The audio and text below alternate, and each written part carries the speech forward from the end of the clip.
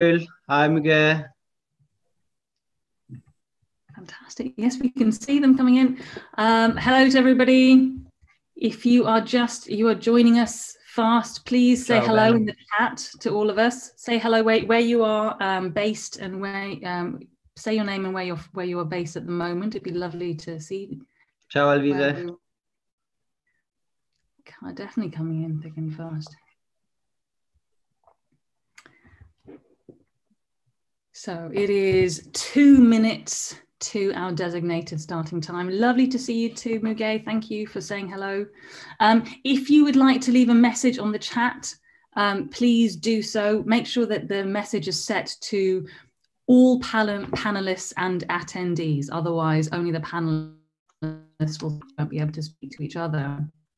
Um, oh, brilliant. Um, please do yeah do send to all panelists attendees, not just to the panelists, because it's lovely for everyone to see each other's um, chat hellos as well. And do let us know where you are joining us from tonight. It would be lovely to um, as well. Um, our beautiful panel that you see in front of you, waiting excitingly, expectantly for your comments. Hello from Ann Arbor. Hello, Gary Beckman. Hello. Oh, hello from Southern Wales. Fantastic. Um, hello to Marta from Pisa. Thank you very much for joining us this evening. Hi, Gul in Istanbul. Hi, Jeff. Hi, Jeff. I'm from Mauritius. Beautiful. Uh, where else have we got? Who else have we got? Oh, we've got, got quite a few places. I can't keep up. Um, Philadelphia. I've seen Philadelphia. I'm scrolling through. Winchester. Hello, Winchester. Hi, Mali. Hi, Kathy. Oh, That's Philadelphia. What else we got? Ian in Penzance. That must be nice at the moment. Must be warm today. Hi, Kathy in COVIDy Durham. Hi, Kathy. I hope, I hope it's not too bad in COVIDy Durham. Um, we've still got some more people coming in. The numbers are still coming, so we'll hold off for another few minutes and let people um, come and join us. Um, hi, Tom in Oxford. Hi, Margaret in Milton, Milton, Massachusetts, and Camran in London. And Bashak in Edirne. Hello. Um, please do let us know where you are. It's lovely to. Hi, Celine. Um, okay, we're beginning to slow now and we're reaching our moment. So we'll just give it one or two more minutes for the last few. Oh, there's still, no, still people are still popping in. That's great. Hello, Thomas and Aberystwyth. Hi, Anna in the New Forest. Hello, everybody. Hey to, hey to all the little ones as well. Um, great to see you all. Fantastic. Um, I guess in the meantime, while we are just waiting, um, I'll just say briefly um, to everyone, hello, oh, it's Nisha. My name's Nisha McSweeney. Um, and uh, just a little bit of housekeeping. You are all on mute. I'm sorry if there's noise of small children in the background. I'll mute myself quite soon. Um, that you're all on mute and we can't see any of you. You can only, should only be able to see your beautiful uh, pa panel in front of you who will be talking to you and answering your questions this evening. Um, hello from, from Santiago in Chile. Fantastic. Hi, Danielle. Um, there will be a presentation from Michele for, of about half an hour. Um, then we'll open up to the floor and we'll have discussion. If you have questions, can you please type your questions in the Q&A box? So you'll notice on the bottom of your Zoom control panel. There's the chat box, which hopefully you're all using um, to say hello to us um, in, which is great. Hi to uh, Mario in Lafayette, Colorado. Um, um, but if, if, you've got questions that you would like the panelists to answer, uh, please use the Q&A box um, because that way we can separate the actual questions from the kind of the more informal discussion, which we're very happy to have going on, on in the chat as well. So feel free to carry on using the chat, but for formal questions which you'd like the panelists to answer, please do use the Q&A box and we'll be answering those questions after the main presentation. Um, I think we the numbers there's still people kind of dripping in, but I think we might get going because it is the evening and I'm sure many of you have got important things to be getting on with and certainly our panelists do. Um, so this is a fantastic crowd. Welcome to everybody from uh, at least three continents. Um, I think we've got which is really great to see. It is the third of our Anatolian Studies, the virtual seminar series based on uh, this year's edition. It's a new format that we're trying out and it's been really good fun so far and uh, a good way to dig deeper into some of the articles which you will all, I'm sure, have read in uh, this year's volume. Uh, today, we're very, very lucky to have a starry panel before us who are going to entertain us with their exciting discoveries and their intellectual um, ad advancements in, in the next hour or the hour, next hour and 15 minutes or so. And we're going to kick off um, with a presentation from Michele Massa. Michele, can you give us a wave? It's Michele. Hi who's a postdoctoral fellow um, at the University of Chicago's Oriental Institute. Once Michele has given his presentation, we will open up to the wider panel and to discussion. Um, the wider panel before you, you have Christoph Bachhuber. Christoph, you want to give a, a wave? who is a lecturer in archaeology at St John's College, Oxford. We have Fatma Şahin, who is, can, Fatma, can you give us a wave? Hi, who is an assistant professor in proto-history and Near Eastern archaeology at Çukurova University. Um, we have Hüseyin Erpehlivan. Hi, Hello. Hüseyin, who is an assistant professor in classical archaeology at Bilecik University. And last but not least, we have James Osborne. Hello. James, who is assistant professor in Anatolian archaeology at the University of Chicago. Um, I've just seen the last was the last thing in the chat. Greetings to all from Florence. So without further ado, I will hand over um, to Michele. Um, and I'm going to, rest of us are going to disappear from your screens and we'll just leave you with Michele for the rest of the presentation. All right, so I will try to set the screen. Yeah, I think. Okay, can you see the, the screen now, the presentation? Yeah. Uh, yes, okay, thanks. All right, so uh, thank you, Nisha, for the wonderful introduction and for inviting us uh, to this um, virtual seminar. Uh, I also want to thank the BIA who is uh, uh, collaborating to make this happen. And thank you all for virtually participating to this. so as you probably know, the, the Anatolian Studies webinars are a, uh, centered on the uh, latest articles that appear on uh, the latest volume. Uh, so when when Nisha asked us to to to do a presentation, uh, we were a little bit uh, uncertain how to do it because it was a very big article. So in the end, we decided to focus on a portion of our article, which is more complementary with what James Osborne has presented last month in the same webinar. Um, he presented the new results from the Türkmen-Karahöyük uh, intensive survey. And what we would like to do today is really contextualizing it uh, within uh, the, the, the, broader uh, Konya plain. Um, so as I, um, as Nisha said, uh, this, is, this is part of um, our uh, ongoing survey project, which is called KRASP, and uh, the main uh, aims of KRASP are to understand the process of urbanization and state formation in a regional context, to understand the human impact of on local environments across long time scales, and understand interaction exchanges through analysis of material culture in the Konya plain.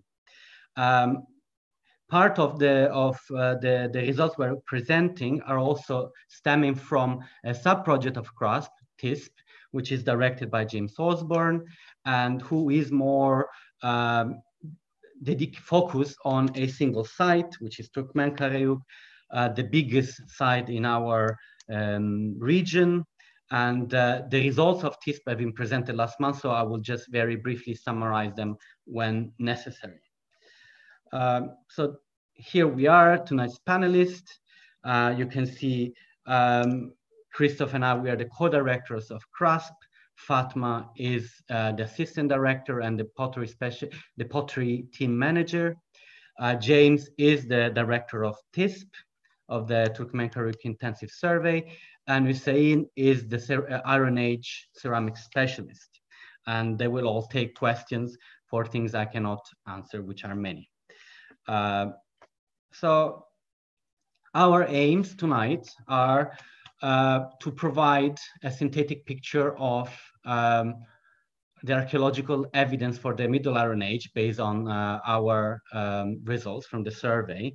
And this is really geared to try to gauge the geographical extent of the kingdom of Hartapu, which is uh, already known king from the Iron Age and for which we have uh, new evidence for his uh, rule.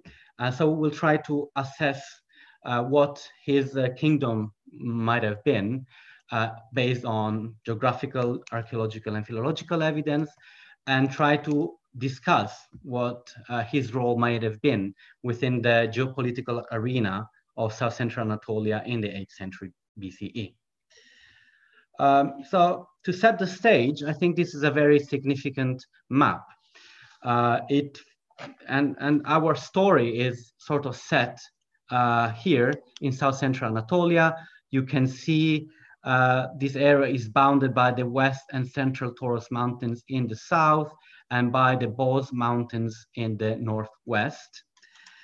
And uh, the whole Greater Konya Basin uh, is an endorheic basin. So it means that all the rivers that flow into it do not have an outlet to the sea, and they create um, sort of uh, river deltas, uh, and water goes um, out through evaporation or uh, goes into the into the groundwater table.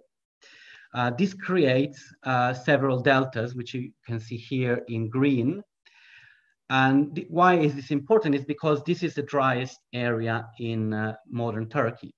Uh, it is uh, barely above, in many areas, it's barely above the uh, limit for um, rain-fed agriculture.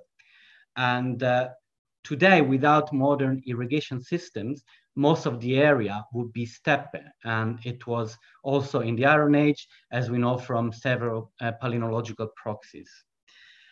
so really, these um, alluvial basins where uh, where most of the agricultural production would have taken place in the Iron Age.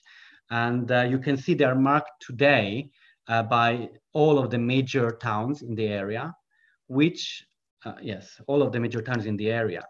And the two major basins are on the left, uh, the Çarşamba River Delta, and on the northeast, the Melendiz River and uh, around Aksaray. And uh, all, all of these basins were actually the center of major Bronze and Iron Age centers, as you can see here. Uh, the steppe would have been, of course, exploited economically, uh, for example, um, uh, through animal husbandry or hunting, but really played a very marginal role uh, in sedentary settlements. So we will show a little bit later for the area that we are focusing on, which is the Konya Plain here, we have no evidence for sediment uh, mounded settlements in the steppe really before the Achaemenid period. Uh, and this is important because I think that uh, already now we can see how the steppe may have uh, somehow divided uh, or become buffer zones for Iron Age polities. So um, the, the, the, the, study area of KRASP is really the Konya and Karaman plains here. And uh, before entering into the fray, we would like to uh, talk a little bit about Hartapu. What do we know about Hartapu? Uh, we know that he was a ruler active in, in, uh, in the Konya region, which I just showed, and uh, he is known from uh, now eight inscriptions uh, uh, many of which celebrate his military victories. And they celebrate the construction of two uh, sites. One is Kızıldağ and one is Karadağ. There are two peak sites And uh, we're not going to talk about uh, a lot about it, but we are working on the hypothesis that might be peak sanctuaries in the sort of tradition of uh, Hittite sanctuaries. And there are several inscriptions, both of Hartapu, both at Kızıldağ and Karadağ. Unfortunately, Hartapu is not mentioned in other contemporary sources, either from Tabal, Assyria, or Hittites. And this has led, uh, this is one of the reasons that uh, it is not really clear until we think uh, our uh, recent discovery, it was not very clear when Hart, Hartapu did reign. So there are several uh, hypotheses. Um, so one is that he might have been uh, a king of, of the Tarhuntassa kingdom in the late uh, Hittite Empire, or he might have been uh, an Iron Age king, or uh, there might have been two Hartapus, uh, sons of Mushili, that have lived four centuries apart, and the later Hartapu uh, would have sort of uh, uh, built upon the earlier Hartapu. And this is uh, this is an ongoing debate, and I think that David Hawkins and Mark Weeden would disagree with our views that we will present in a second. Um, and David Hawkins for, for a long time uh, suggested that uh, Hartapu would have been uh, late uh, Hittite, uh, a king associated with the late Hittite uh, Empire. And these are shaped, in a sense, what we knew about Hartapu. Um, so these are the uh, no, already known inscriptions. And uh, they are all relatively brief. And uh, they are saying they are quite repetitive in many ways. Um, what is important for the following discussion is that Hartapu claims uh, has the self-appointed title of Great King, which he uses uh, quite frequently. He also defines himself as the son of Mushili, Mursili. And in uh, several inscriptions, he mentions uh, his military victories. Um, in particular, in Kızıldağ 4, he mentions conquering the country of uh, and, and that sign uh, for the country of is really uh, not well preserved. And Hawkins has suggested uh, it, it, would uh, that it could be completed as Massa because there was a known late Bronze Age uh, uh, polity. but our new finding suggests that it might be something different. And so this is the, the Dune inscription that was found by the Türkmen-Karahöyük Intensive Project, and it was found at Türkmen-Karahöyük. And uh, it has been analyzed by Petra Goedegebuure and Theo van den Hout, and it was already published. Uh, it will also be uh, the uh, focus of uh, another Anatolian study seminar, so I will uh, keep my comments to a bare minimum. What it does provide is a lot more detail about the military campaigns of Hartapu. So he, he mentions conquering the country of Mushka, which is likely to be Phrygia in northern Anatolia. And he also mentions uh, to have uh, fought against a coalition of 13 kings, which he doesn't uh, name. And again, we will see later, they might be uh, people that um, rulers to the east of uh, the Konya plain. Why Türkmen-Karahöyük 1 is so important is because it is uh, filling um, uh, a gap in, in what we knew about Hartapu. So uh, Petra and Theo's detailed uh, stylistic analysis clearly indicates that it can be dated to the 8th century. Uh, and in fact, they suggest, and uh, we tend to agree, that all of Hartapu's inscriptions are contemporary because they all mention a great king, uh, hero, son of Mushili, conquering uh, a lot of places. And it, it sounds uh, logical that they, they would belong to the same king. And we are open to discussion at the end of, of the talk about this. Um, what Hartapu claims, and this is not necessarily true, but he also claims to have been a successful war leader, um, which is something that we, go, uh, we will come back to. And lastly, the location itself or where the inscription was found is perhaps suggesting that the place would have been, could have been Hartapu's capital. Uh, so Türkmen-Karahöyük, as I said, was already uh, is already been published uh, the, at this 2019 season. What they what we found, the, the main result is are that there is during the late Bronze and the early to mid uh, Iron Age, uh, the site is very very big. Uh, the mound itself is fully occupied and it's 30 hectares, and the lower settlement, according to however we want to count, um, however we want to, to, to define the, the area covered by uh, diagnostic sherds is between 70 and 100 hectares. Now, this year we couldn't really go back to the field because of coronavirus. We were planning to uh, complete the intensive survey and to do some geophysics that would have given us a better idea of the extent. We will hope to do it next year. But what even these preliminary results suggest is that Türkmen-Karahöyük was very, very big uh, for the standards of uh, Central Anatolia and neighboring regions. And this is, um, you know, a sort of visual uh, show of this. So these are uh, a lot of major centers, uh, contemporary with, uh, broadly contemporary with Türkmen-Karahöyük, for which intensive survey of the lower town has been conducted. And what you can see here, uh, without any doubt, is Türkmen-Karahöyük ranks among the largest uh, of its peers, both in terms of mound size alone and uh, the size of the lower town. Of course, with all the caveats uh, that we already explained, I mean, we are still in the process of concluding this intensive survey, but it shows at least it was a very important center. Now, what is around um, Türkmen-Karahöyük? So you can see here uh, what our sur uh, survey area, KRASP survey area, uh, with all the sites that we already found. And uh, in black are sites that were already published. So we have been trying to combine uh, both data sets together. And we will show in a second uh, what what are the main uh, dynamics uh, that are active in the region. Before doing so, we just want to have some disclaimers uh, in the sense that we have some problems, as all surveys have, but in particular, we have problems in dating early and middle Iron Age, distinguishing them.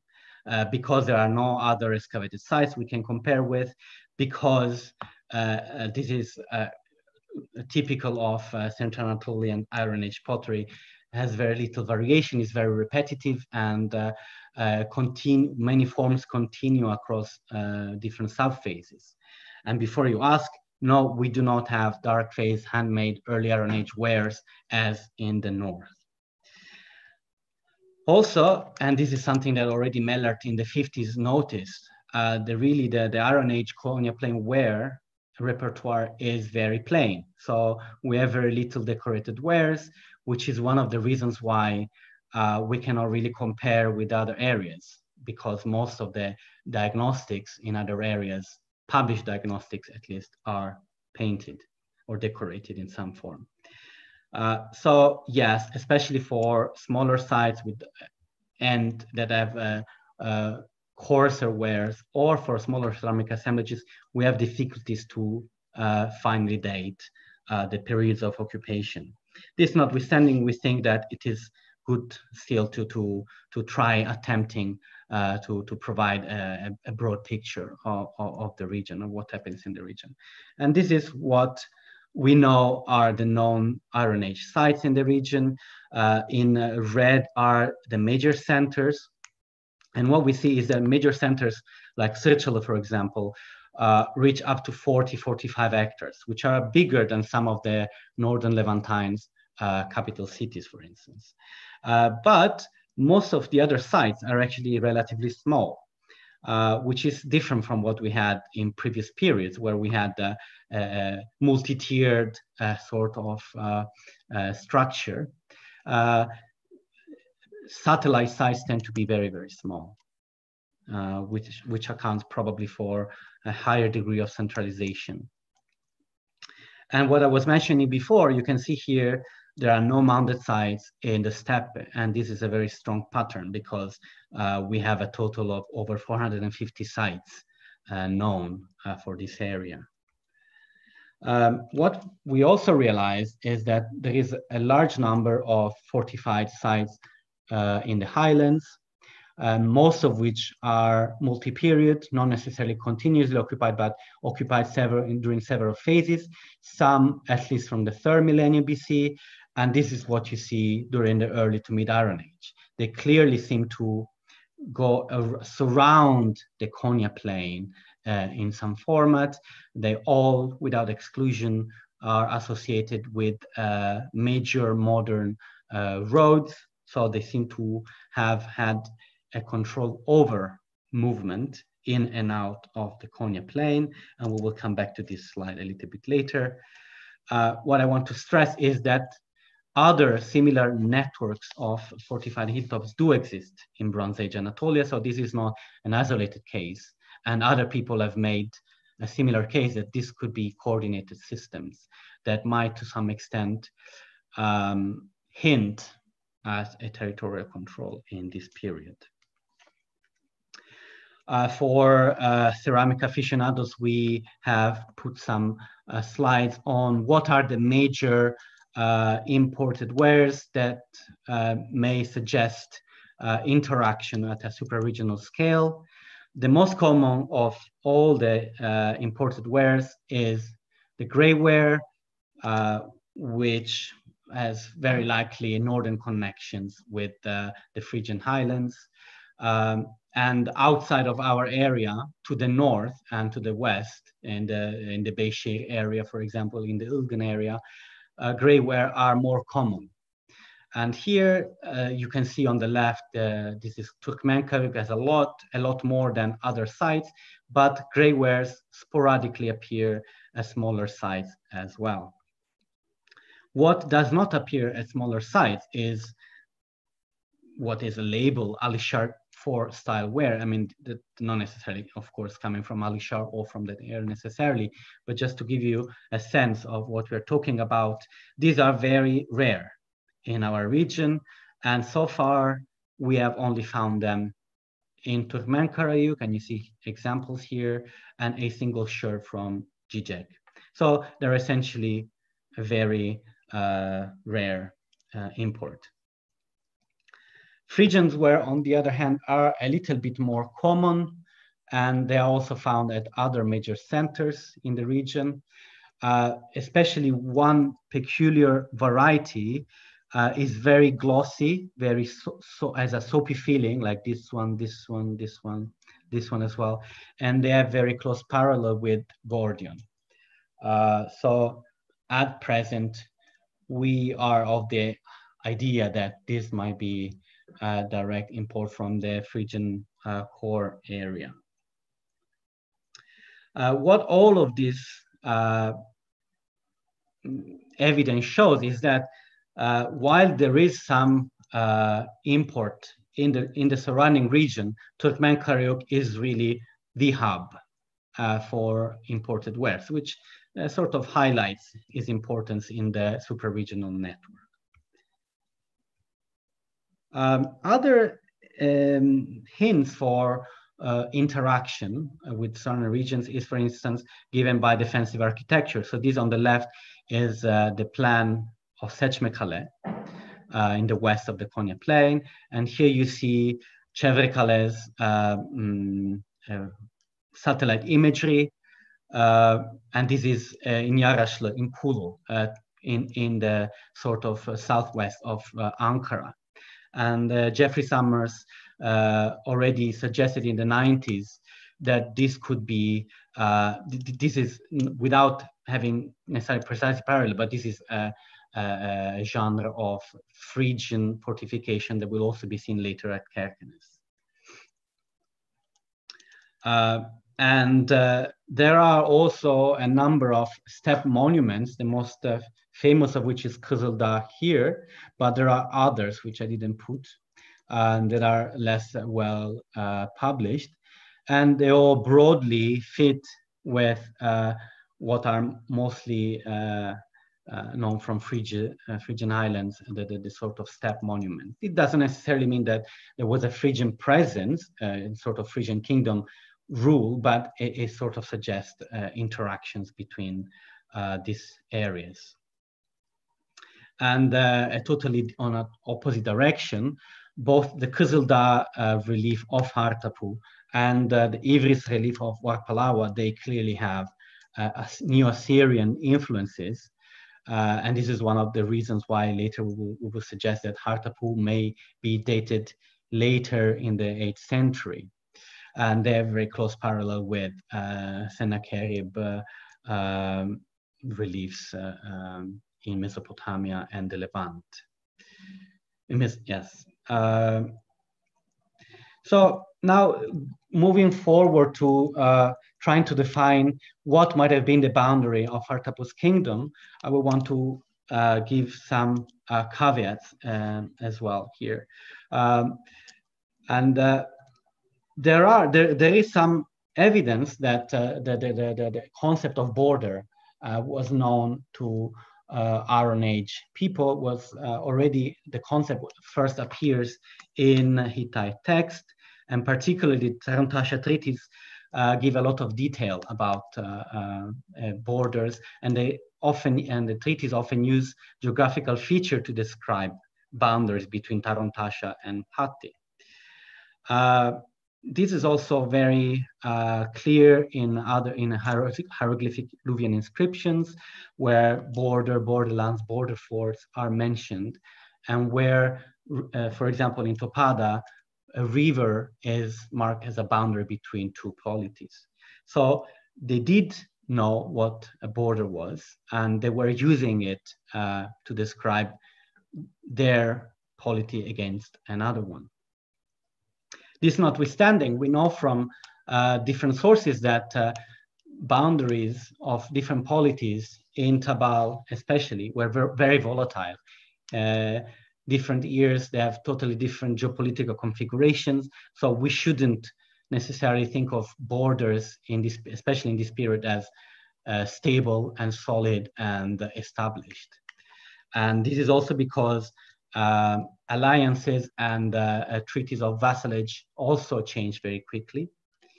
Um, and uh, we should also not trust uh, source, uh, textual sources, especially if they only come from one single side, uh, because they could be simply propaganda. And also what is very clear from uh, Sargon annals uh, and, and, and, the movement of uh, Tabalian rulers is that a lot of uh, military campaigning would have had the aim to loot and or renegotiate the political standing rather than uh, having a territorial expansion, which is something that we need to take into consideration when trying to define uh, Hartapu's kingdom's extent and the relative extent of other kingdoms around. This notwithstanding, um, I think that because specifically because it was mentioned in text, and this is there is a good match with archaeological evidence, uh, the numerous forests that surround the Konya Plain might hint at what uh, sort of the core of Hartapu's kingdom might have looked like. So the Konya Plain with this uh, rich uh, agricultural land could have been uh, Hartapu, you know, this is just speculation, but could have been uh, part of Hartapu's kingdom more stably. Uh, we are not suggesting at all that uh, there have been hard boundaries like uh, uh in Roman times. Uh, in, in, if anything, I mean, these forts would have just been controlling pinch points in, the, in the landscape. And they could have been conquered by different polities at different times. But this is just an impressionistic um, picture, let's say.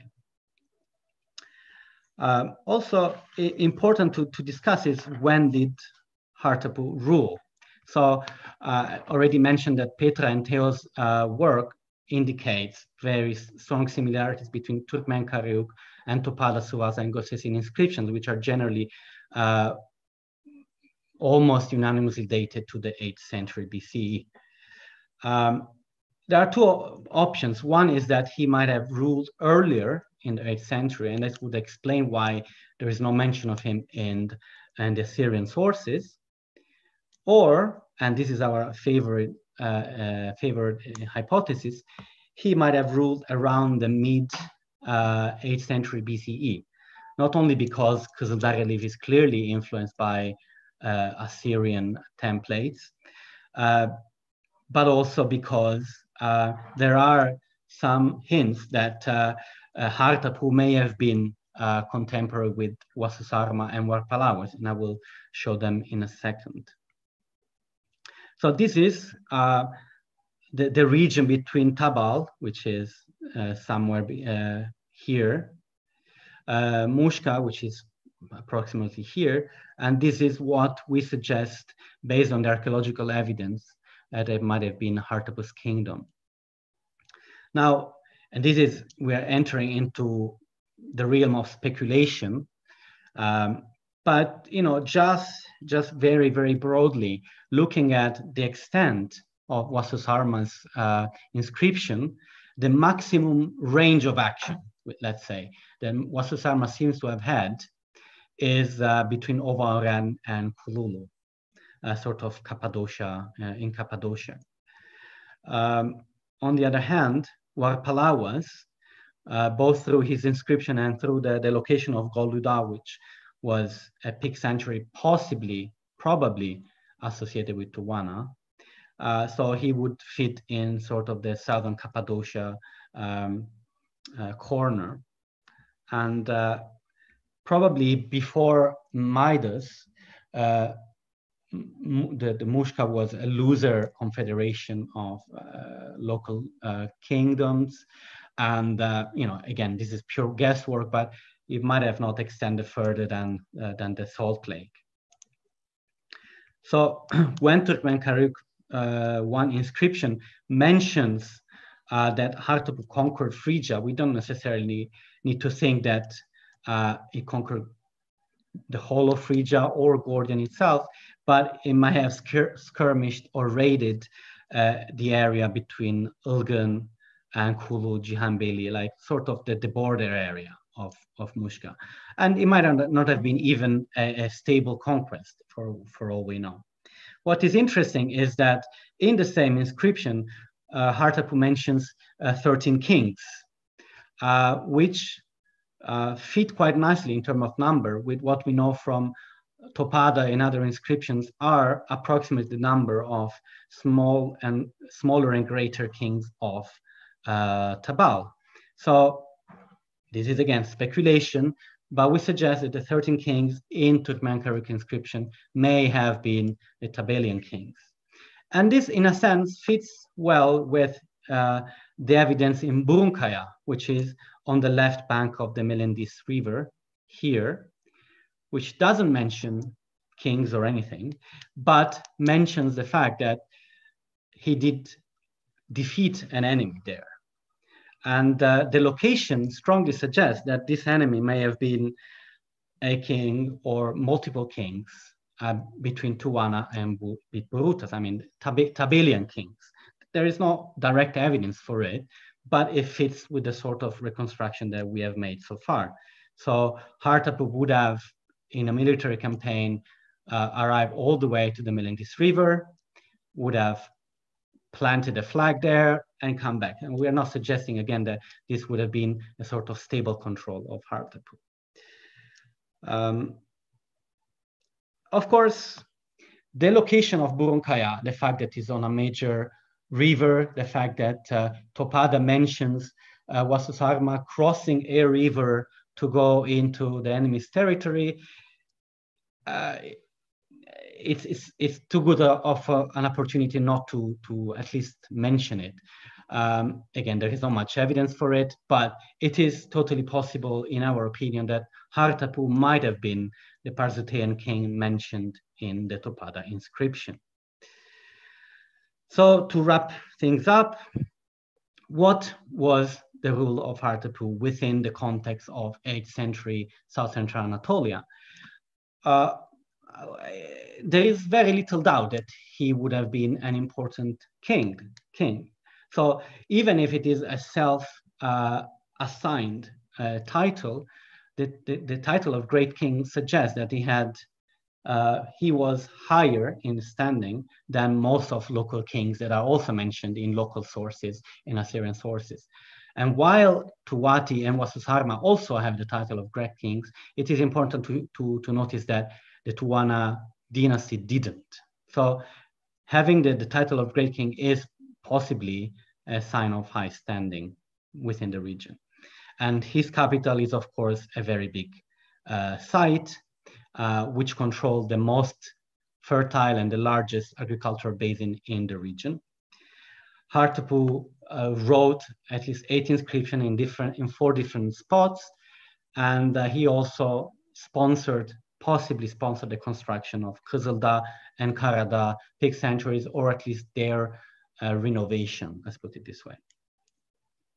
According to him and only him, he was at some point able to wage war against Phrygia and Tabal, which in itself, uh, if true, would have been uh, uh, quite a, a feat uh, for uh, for a local king in in the region.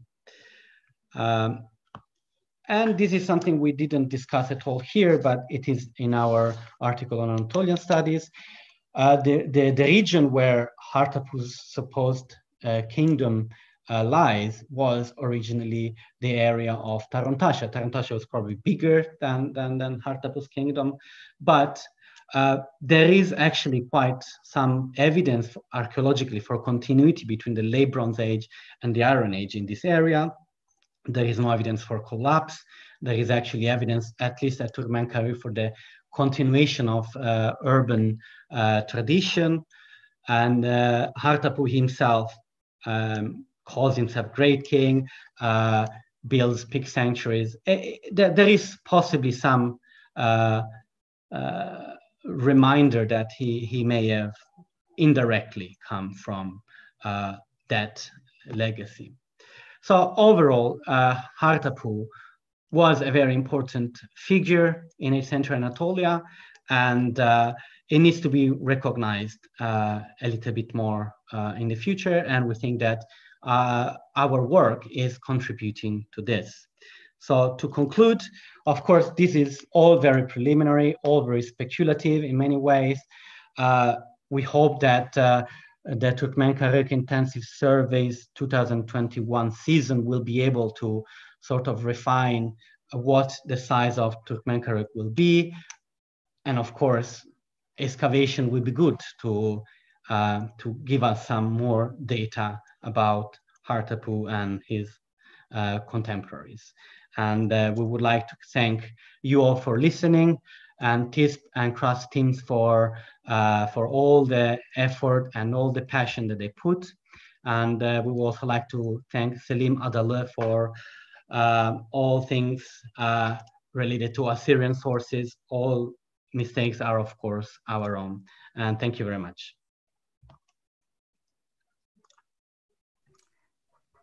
Thank you very much, Michele. Hello. Um, let's see if we can bring back the rest of our panel and maybe bring us back um, visually as well. Thank you very much. That was an excellent presentation. There's so much to discuss here. There has been one question that has already come in. Um, I think there'll be many more questions that come in along the way. So I'll I'll wait for one minute. I shall um, I shall read out the question that came in very early, so that we can start addressing that, um, and then I'll start asking us if I get the chance. I'll ask some questions of my own. So the first question that came in quite close into the beginning of the call comes from Jeffrey Edgson, who says, on the panel with Türkmen-Karahöyük 1, have you recognized the type of script used in the inscription? I'm no expert, but the script appears to be similar to Mycenaean B, yet Luwian hieroglyphs would geographically be more likely. Um, would anyone like to address? Yeah, sure. It is a hieroglyphic Luwian. There is no doubt about it. Fantastic.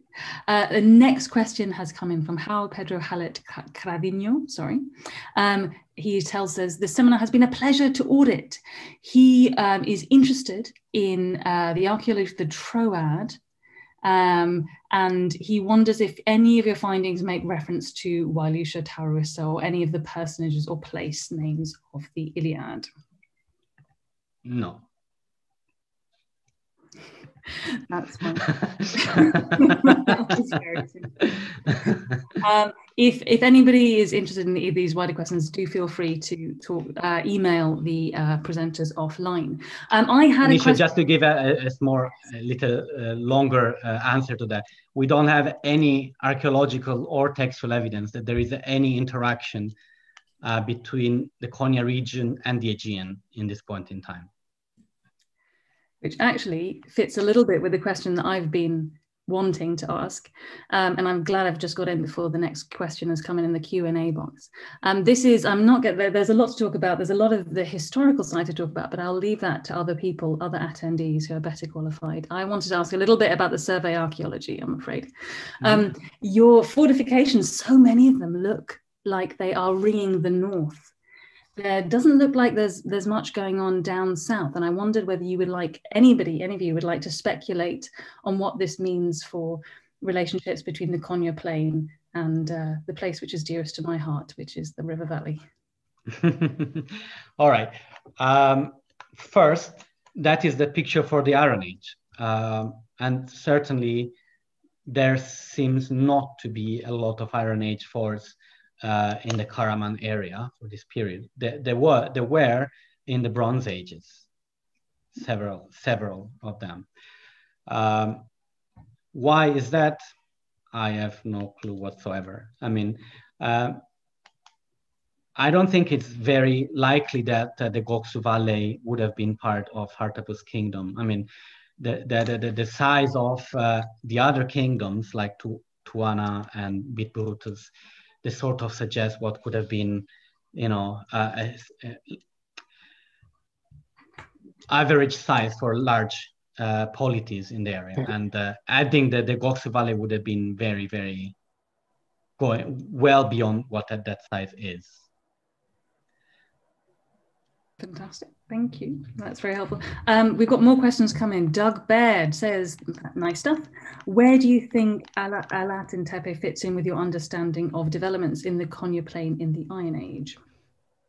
All right. So uh, I actually, uh, we showed some Phrygian ware uh, painted pottery from Alaeddin Tepe, which, as everybody knows, I mean, is a very uh, badly excavated, very badly published uh, site uh, within current Konya.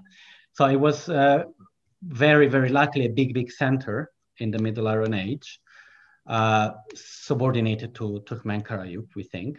We cannot uh, say what is the, the current, what the original size of the lower settlement because it's under the ur urban layout of Konya. Uh, but given the very little we know, it suggests that it might have been a secondary center of the polity. This is our suggestion. Or at, you know, a vassal uh, polity of Hartapu. Hypothesis, speculation.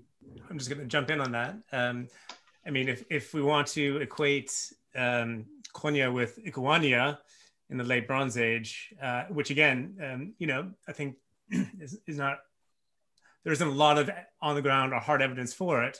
But during the late Bronze Age, if we want to believe that Ikuania is Konya, then those were two separate polities, Tarhuntassa, Ikuania, right? So, um, you know, and there's nothing saying that Aladdin Tepe couldn't also be potentially similarly independent in the Iron Age. I get, you know, this is wild speculation. But again, if we want to think that Ikuania is Konya, then here we have two polities, Tarhuntassa and Ikuania, in the late Bronze Age. So just throwing it out there.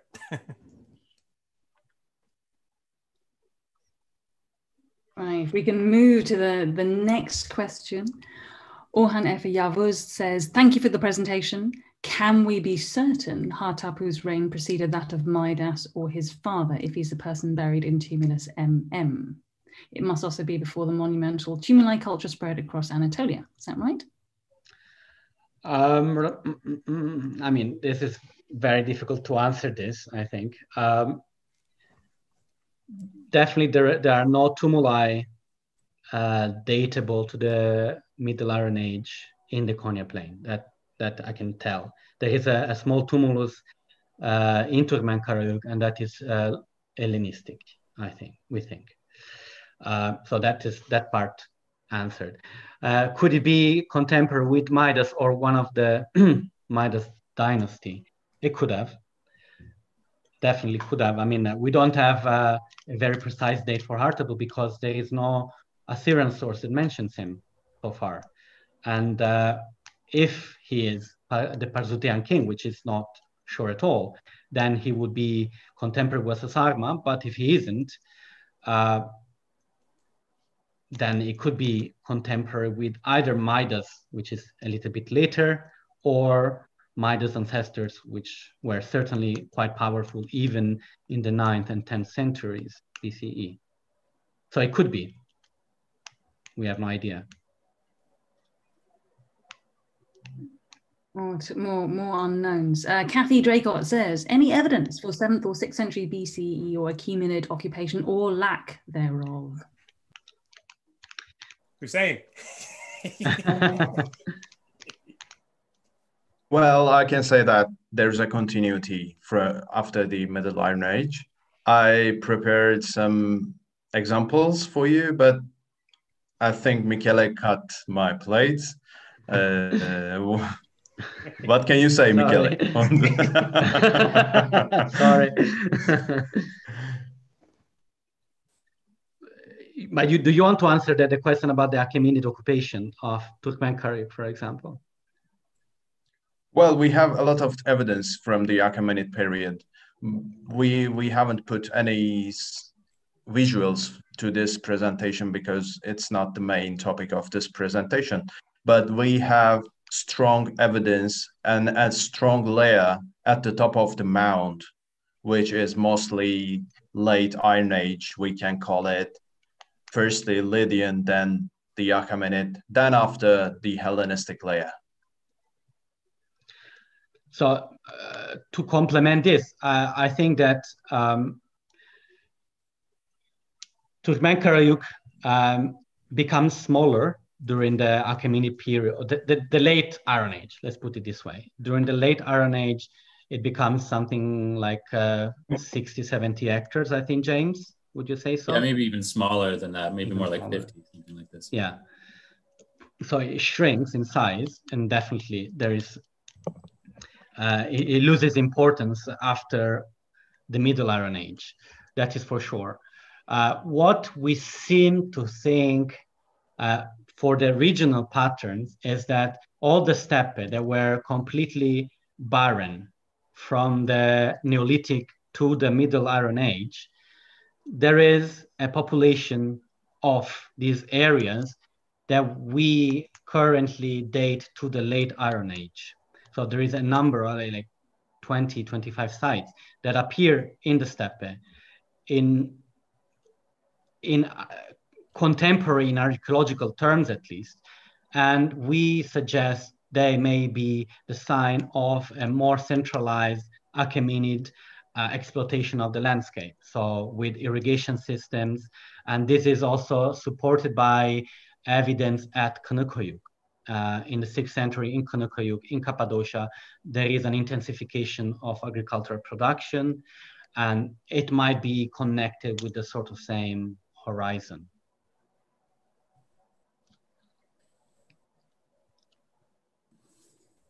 That's it. Well, we have a, a few more. Um, I think just on that, Kathy Draycott's following up with saying, uh, so we're talking about people moving into the steppe land, centralized or pastoral estates. You mean centralized as an empire, not sites, presumably? Um, yeah, yeah, of course. I mean, these are, of course, the same people that were living in the Delta, their offsprings, parts of their communities are resettled I mean, there is no change in material culture that we can detect at the moment. So we're not thinking, you know, Persian relocation from other sides of the empire. They seem to be pretty local. uh, it seems to be pretty sudden. And uh, you know why I say centralized is because irrigation needs a lot of um, sponsoring, state state sponsored uh, man, uh, manpower, a lot of maintenance, a lot of bureaucracy around it, uh, which seems better fit for an empire rather than a small territorial polity of the Middle Iron Age. That is uh, why we think it might be more closely associated with an imperial occupation, imperial presence, let's put it this way. Does it answer? Possibly. So it, it you're dating these um, these irrigation works on on that logic basis rather than. Um, no, we're not dating irrigation works. We're right. dating the the founding of these settlements to the late Iron Age, and I think uh, Hüseyin can uh, talk about this. We're not. There is no direct evidence for irrigation at any point in any time before the the let's say Ottoman period, right? But Hüseyin can talk about the, the, the dating of the settlements, maybe. The steppe settlements are begin they are beginning to settle during the fifth, especially fourth century BC, and also there is a direct continuity after the late Iron Age to the Hellenistic and Roman period. Uh, I can say that, yeah. We have, we have a few more questions. Anna Lucia d'Agata asks, what about connections with Cilicia in the 8th century BC? Do you see any signs of contact? I cut another of Hüseyin's slide. Go for it, Hüseyin. yeah, we, we can also say that there, there can be a connection between the Cilicia uh, and our region in terms of the Middle Iron Age and also the Late Iron Age. That we have some black and red wares, which is not seen in this slide, that can be influenced from the Cilicia and Cilician polychrome ware that we have some sherds. And some of this is uh, discussed in the uh, Turkmen Anatolian Studies article as well, if people want to follow up with it. Mm -hmm. Melodius says, thank you for cutting the Cilician slide. you have a question from Anna Koller, or, or, a couple of questions. She says, "Are you? Is she right in thinking that there were no Iron Age mounded sites in the steppes? Does that change at a later date? And if so, does this uh, can this be linked to changes in climate or agriculture, which makes these areas a bit more settleable? And how far did you get up into the mountains? She wants to know. That's a question. All right. Um, well, uh, we did uh, our uh, trekking in the mountains in the first couple of years, and uh, and there is another uh, survey also that focuses only on the Bozdağ, which are the Bozdağ Mountains, which are on the northern side of the the Konya Plain, and uh, we haven't found anything substantial. Which doesn't mean that they didn't live there. It doesn't mean they didn't exploit the, this resources that existed there. Certainly, there was a lot of hunting. Certainly, the, uh, certainly, very likely there was a lot of hunting. There was a lot of uh, quarrying. There is a lot of uh, you know using the hilltop sites which are in the highlands. Uh, we have not found, and not only we, but also Hasan Bahar, who extensively uh, surveyed the Taurus Mountains, which is which are outside of our survey area, he did not find very significant evidence for Höyük. I'm not saying that there might have been other forms of uh, less, uh, more ephemeral settlement. They didn't use, they didn't create Höyüks. So uh, I'm sure that that there were people living there. It's just the density of population was uh, infinitely lower than in the in the, in the agricultural basins and alluvial deltas. Uh, Gizem Gune asked, what can be said of the Hellenistic findings? I stop here, saying because we're not allowed to talk about the Hellenistic findings. I mean, our survey permit goes all the way to the end of the Iron Age. So there are plenty, but we cannot discuss them. It has a high potential.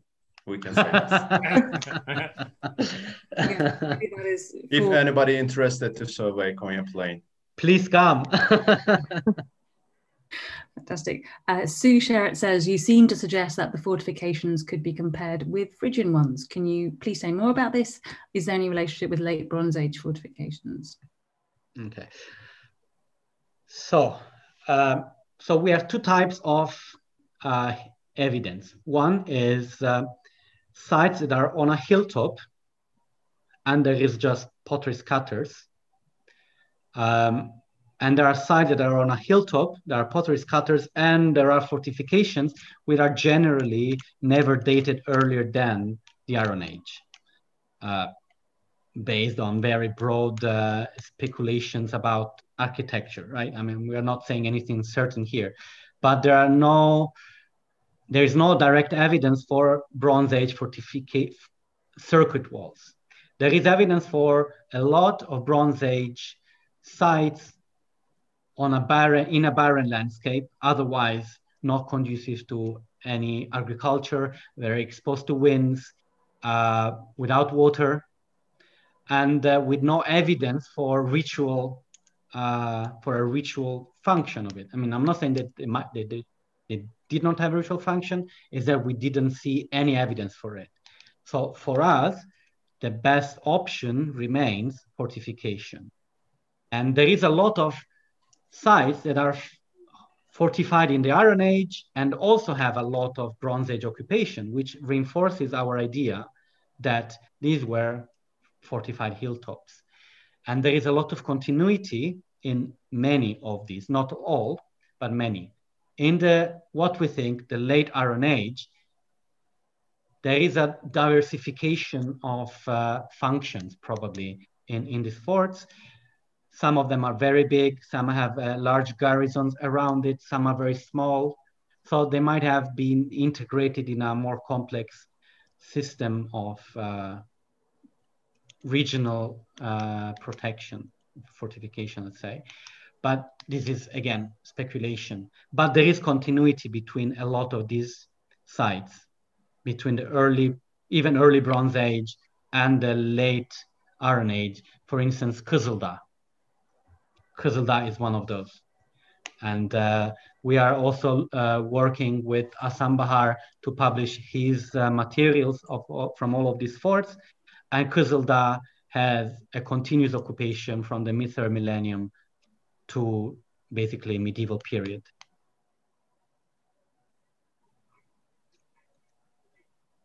Just to play a little bit of devil's advocate on these forts. Please. So, I, so I, am no Romanist, but I understand that the way that um, people are trying to make sense of the Roman limes is more that things like Hadrian's Wall and these forts are actually places to focus interaction and places to which bring people together. They're folky rather than divisions. And would that change your interpretation? If, if limes are not hard borders either. No, no, no. But there, there. I mean, the limit, the Roman limes on the Euphrates is a much harder border than the Hadrian Wall, in my opinion, uh, because there is, the, I mean, there is the Euphrates, which is in itself uh, a barrier to interaction. But anyway, uh, I think um, the Roman limes was mostly not on mountains, right? It was in a plain, so it was easier to to to make it a focus of interaction. But these are actually quite isolated on the mountains. I mean, it, it, took us quite a lot of sweat to go to some of these. So I would strongly doubt there were places for market fairs or anything else. Fair enough. I've missed a comment in the chat, I'm afraid, because I was monitoring the Q&A. Mark Weeden says, thanks for the presentation. You're doing really great work. But Hi, he cannot agree with the dating of Kızıldağ IV to the 8th century, which sure. means throwing out all of our dating criteria out the window. Kızıldağ 1 plus relief, 8th century, yes. Mushka equals Phrygians, no. Would anybody like to comment on that? Can I just ask you, Mark, if you mean Mushka equals Phrygians, no, also in the Türkmen-Karahöyük inscription or simply in Kızıldağ 4? Both, okay. Both. I mean, I am certainly no expert of the Iron Age or of uh, hieroglyphic Luwian. Uh, I will try to answer, and then I will probably let James uh, comment on my comments. Or maybe James, you want to talk first, please. Uh, not really. I mean, these are questions really for the philologists. I think it's probably best answered by Petra Hudde and Theo van den Hout.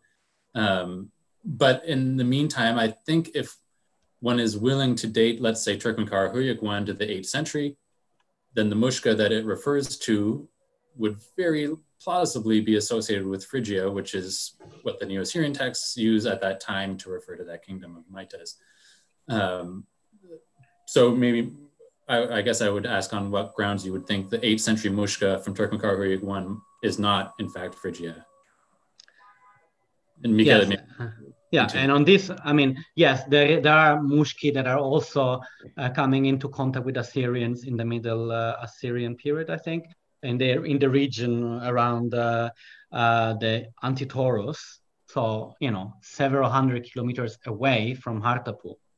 And I think that uh, for what we know of the geopolitical uh, configuration, oh hi Mark, geopolitical configuration of Tabal Hartapu would have needed to bulldoze all of these smaller kings before getting to Mushka, the, the Mushka you are meaning, I think.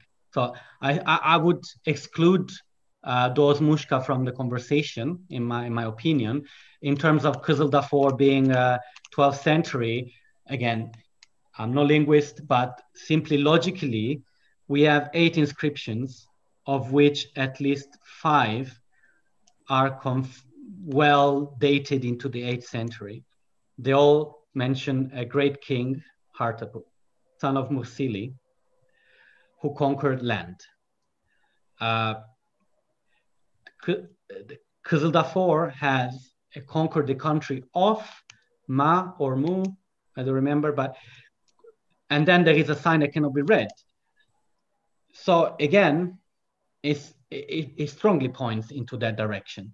Why would two kings, Hartapu, son of Mursili, have existed 400 years apart goes beyond my imagination. And why the second Hartapu would have flattened his own image to the earlier Hartapu. So he didn't try at all to distinguish himself and his gesta and his uh, role from the earlier one. To me, it doesn't make any sense from simply a logical argumentation. I've just allowed Mark to speak in case he does want to respond. It sounded like this was a discussion which might be easier done if Mark could speak. Mark, can you speak? Can you hear me? Yes. Yeah. Yeah. Okay. Well, let's not go into it too much. Um, you know, but uh, I just cannot see Kızıldağ being 8th century BC because it is 12th century BC or early Empire period, and uh, you know if I wanted to list all the particular details, all its correspondences are with um, inscriptions from that period, uh, and I'm afraid I just don't agree with the dating that uh, Petra and Theo have come up with. Um, the mention of the Musca, yes, you're quite right. You have all these in the 12th century over in the Tur Abdin area, and um, or indeed, yes, we're very early in the 12th century, and they're not attached to anywhere. They seem to be mobile population. Uh, and I would say it's these Muska that are being referred to both in Türkmen-Karahöyük and in Kızıldağ, um, mobile populations that are moving through the area. Uh, of course, that's extremely speculative. But I would the first line of Türkmen-Karahöyük is referring to the Hartapu of Kızıldağ. Um, and he calls himself there, and he's referred to there as Kartapu. Whereas in the second line, it's Hartapu again. So I don't think you have, I also don't think you have two Hartapu sons of Mursili. There's Hartapu son of Mursili in Kızıldağ in uh, who's occurs in Türkmen-Karahöyük and uh, Hartapu, son of Mursili, who occurs in Kızıldağ 4, they're the same person.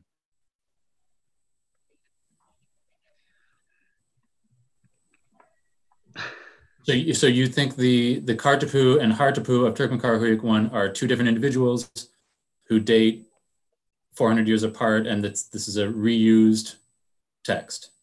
Yeah, absolutely.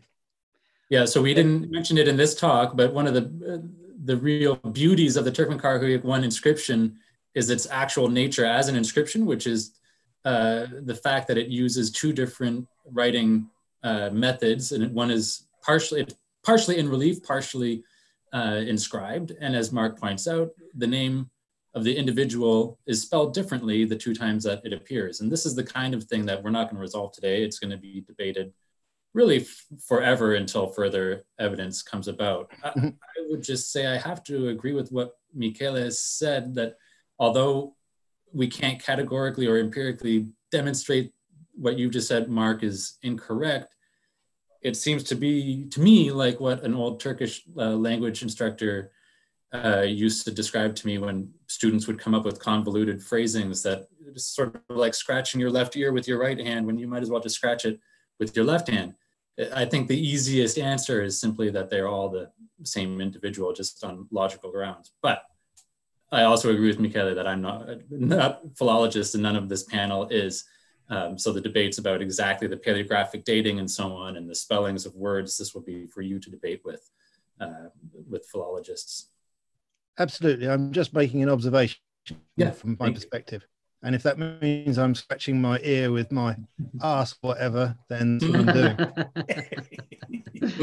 I think this is a very helpful. Th- thanks very much, Mark. I'm just going to disable you if that's right. Um, I think this is a, a, good trailer for hopefully a virtual seminar with with Petra and Theo. Um, if we can if we can get a get them fit get a slot in their busy schedules, I think in the next couple of months that'll be really good. And I think we can have this debate properly um, there. That'll be fantastic. Um, I think we are getting close to the time when we said we would have to ring off. And if there are any other final questions, please do get them in in the last two or three minutes. But um, in the meantime, oh, hang on, oh gosh, one has just come in. Oh, Chris Williams, could you be specific on the writing systems? Um, Chris, th that might be in is that something you can address very quickly or maybe chris it might be easier for you to look at the um, the article in Anatolian Studies, perhaps to to get more detail um, on yeah. that. Um, but otherwise, everyone, we've had lots of thank yous in the chat, uh, people who might have had to log off a little bit early, but thank you all very much uh, for this. Um, was there, no, that is the last one. And thinking it has been extremely useful. It's built, I think, very much on last month's uh, seminar um, which, which, was given by James Osborne. And I, I do, I, it would have been nice if we'd had the inscription seminar immediately after, but the, the scheduling didn't quite work out in the same way.